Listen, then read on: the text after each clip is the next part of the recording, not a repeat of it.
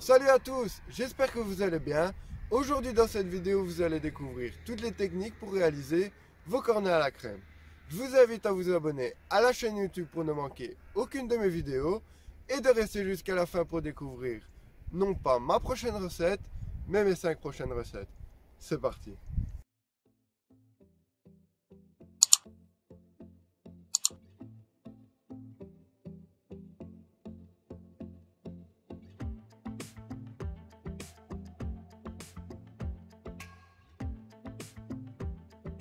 Commencez par préparer une plaque, un papier cuisson, un rouleau en bois, un pinceau, un œuf pour la dorure, 250 g de sucre décor, 400 g de pâte feuilletée et 10 moules à cornet.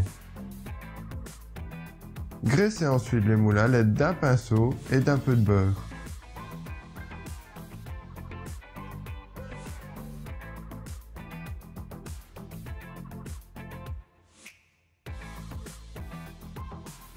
Préparez ensuite la plaque de cuisson, le sucre, la dorure et la pâte feuilletée.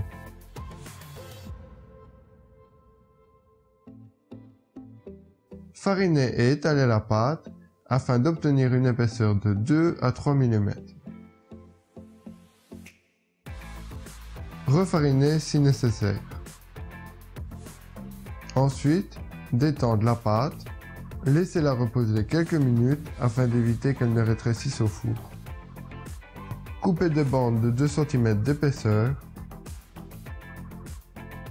Disposez sur le moule à cornet graissé sans étirer la pâte et superposez-la un peu pour éviter qu'il y ait des trous après cuisson.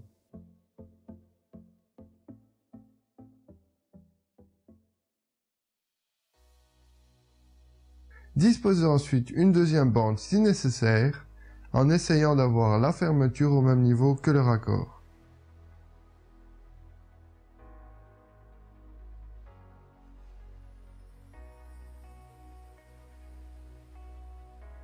Dorez les cornets à l'aide d'un deuxième pinceau.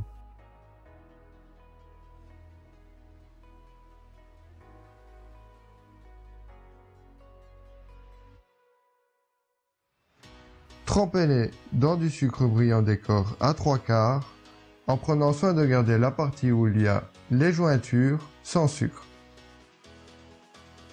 Déposez ensuite sur la plaque de cuisson en alternant le positionnement entre deux cornets.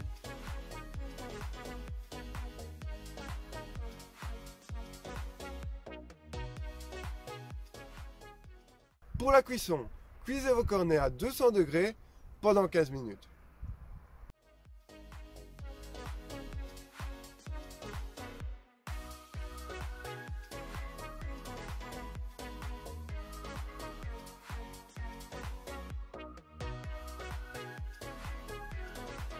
Laissez-les ensuite refroidir 5 minutes, coupez les bouts qui empêchent le moule de se démouler et l'enlever délicatement.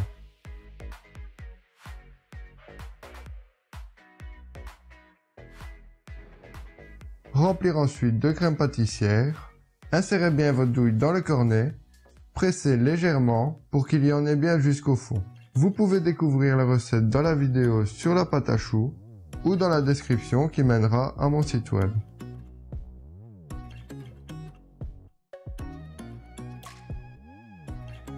Saupoudrez ensuite de sucre impalpable et laissez 2 bonnes heures au réfrigérateur avant de servir.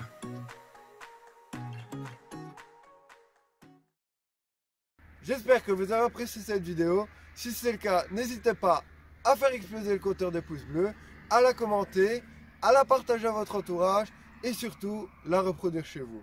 Comme vous le savez, les fêtes de fin d'année approchent à grands pas. C'est pour cela que mes 5 prochaines recettes seront consacrés aux fêtes de fin d'année. Je vous souhaite un bon week-end et on se retrouve non pas samedi prochain, mais jeudi sur une vidéo spéciale Saint-Nicolas.